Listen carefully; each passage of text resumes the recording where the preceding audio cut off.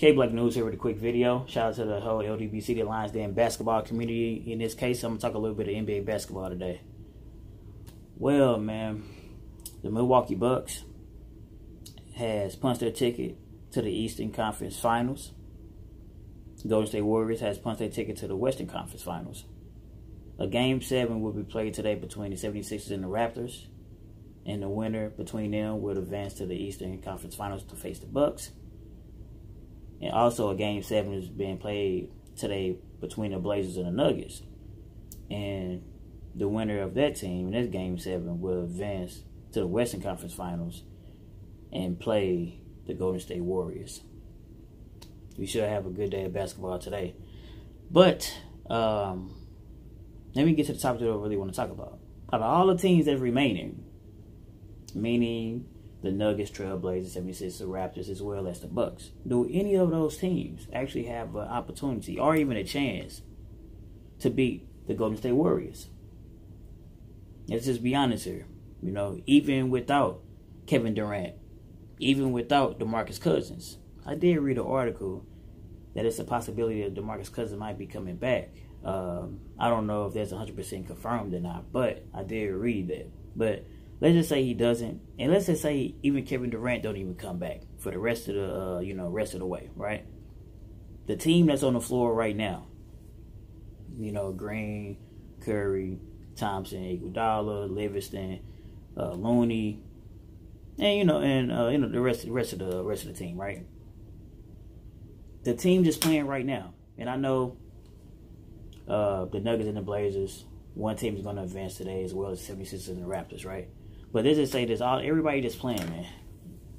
Do any of those teams, including the Bucks, have an opportunity or a chance to truly beat the Golden State Warriors? The teams how, how they are right now. You don't even need to even add Durant and Cousins in this in this discussion right now. Do those teams have the opportunity to beat them? In my opinion, you know what I mean. And this is no disrespect to Giannis and the Bucks. No disrespect to uh, Embiid and Simmons and the 76ers. No disrespect to Kawhi Leonard and the Raptors, Jokic and the Nuggets, and Damian Lillard, Lillard and the Blazers. But in my opinion, none of those teams can beat the Warriors, even in how they stand right now. You know, of course, the Rockets and uh, the Clippers, they went to Game Sixes with with the Warriors. So of course, I believe the teams that's remaining can get some wins. I just don't think they can beat them in a, a seven game series. You know what I mean? And you know, it's phenomenal players on these teams. Um, Kawhi Leonard is a champion himself and an all around player. Uh, the way that Giannis is playing, he probably even get the MVP this year.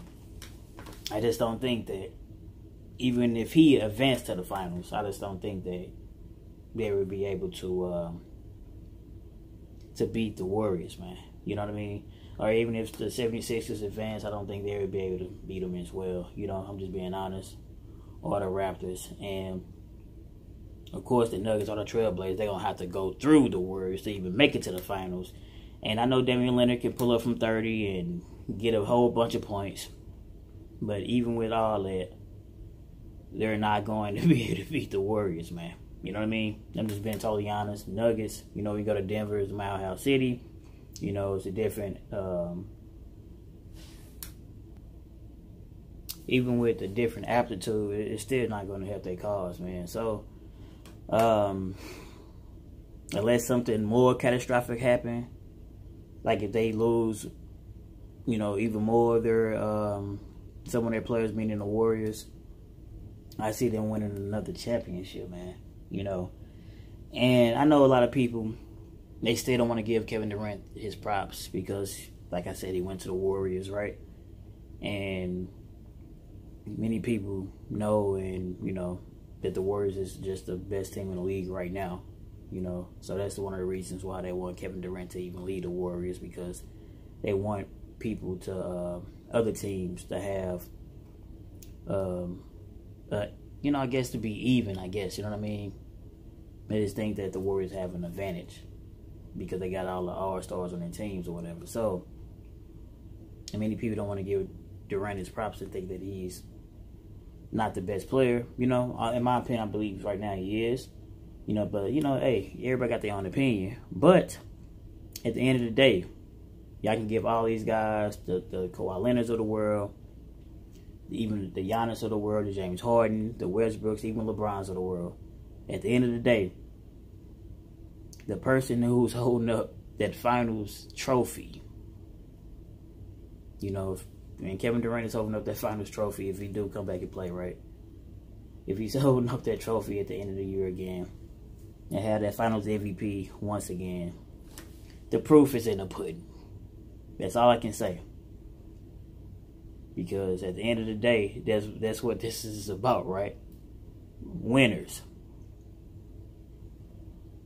But anyway, who do y'all guys think have the best opportunity, if any, of the remaining teams to beat the Warriors, man?